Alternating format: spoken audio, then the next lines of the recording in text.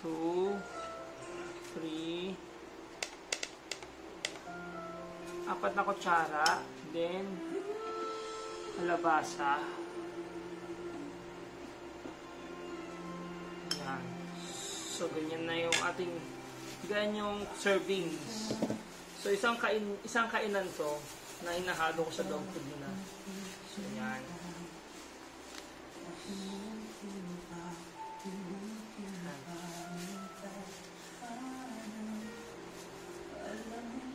Background tayo. Yan. So, ito, ganito siya yung per pack.